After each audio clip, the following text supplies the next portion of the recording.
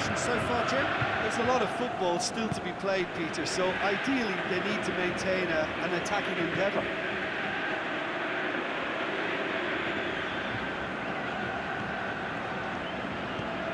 Hoists it high. Chance! He's had a go! What about it?